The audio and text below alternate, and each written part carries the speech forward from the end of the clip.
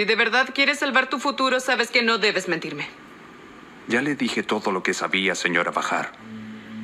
¿Y has recordado algo recientemente? Créame, no recuerdo nada más. Perfecto. Estás despedido. No, no, espere. Se lo voy a contar todo.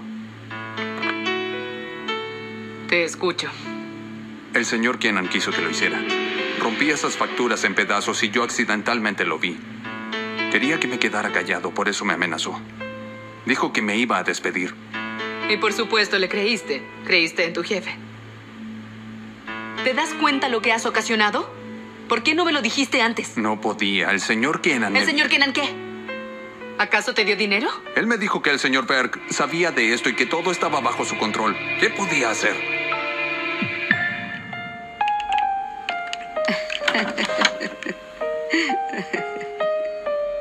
Mi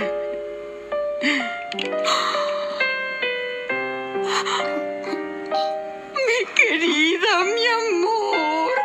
Estás de vuelta. Mamá, por Dios, no la aprietes tanto. Se quedará aquí por dos días. Puedes abrazarla cuando quieras.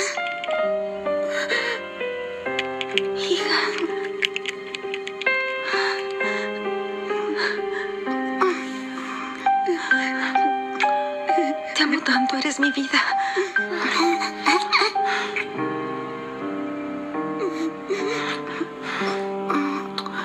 Mi hija, mi bebé.